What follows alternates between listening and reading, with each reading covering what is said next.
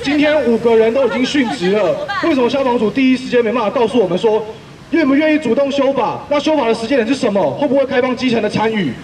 这个事情牵涉到不同的机关、不同的权责啊，我相信啊，我们一定会很快速的跟相关机关来做整合协调。我们没办法给一个正确的时间嘛？好，那时间到之前，我们如果在发生像这样的火警，消防署要我们地方的消防员要用什么的心态跟方式去救灾，请你能告诉我们。现阶段。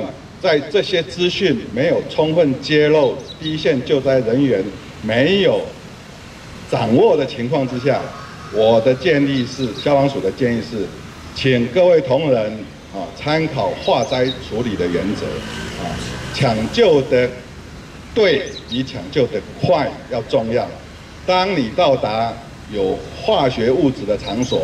你可能要先收集现场的化学品的资讯，危害性的化学品没有掌握啊。现阶段各位讲的防御性的这些抢救作为，我们支持。那那副组长，我问一下，那如果说现场资讯不明，但是里面有人受困呢，我们要进去吗？我们尊重现场救灾指挥官啊，横着所有的状况所做的判断。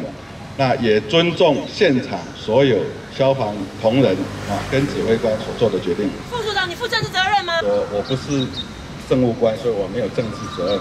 我是事务官，我把实际上的现在行政机关针对这个事情的重视，然后呃进行的方向，在这边跟大家来做说明。一百零一年修法的时候，主管法、治安法修法，消防单位都有在现场。你们不是第一次接触这个议题了，你们有政治责任。第三项的诉求有关啊，筹组工会啊，基本上消防员啊是公务人员，所以有公务人员协会法。那工会协会法能够保障我们吗？协会法能够针对地方事务的消防消防事务能够做做检讨、做处理吗？你可以跟我的讲一下答案吗？这一个事情的主管权责啊，不在消防署，不在内政部。协会之前也在很多的机会，包括立法院，所以你们只能乐观其成，是不是？对，事实上，消防署我们针对这一个议题的这个立场就是乐观其成。副组长，我觉得，我觉得您要刻意去回避修法的时程，我们不能够接受。副组长十一个，国家要我们进入火场，却连给我们后退的机会都没有。为什么今天连一个具体修法的时程都出不来？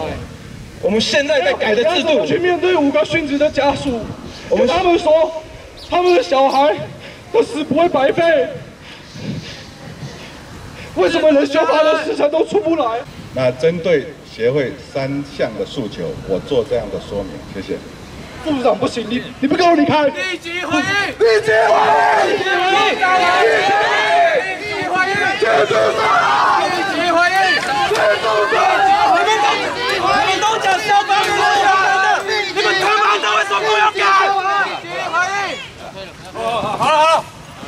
连做不到，做什么长官啊？好好好好，我们回来。请关站，挡路。好，我我我我们各位好我们吗？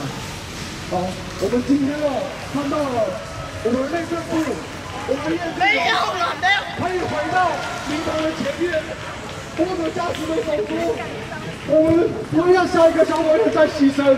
我们要呼吁业主自律，但我们今天看到的是什么？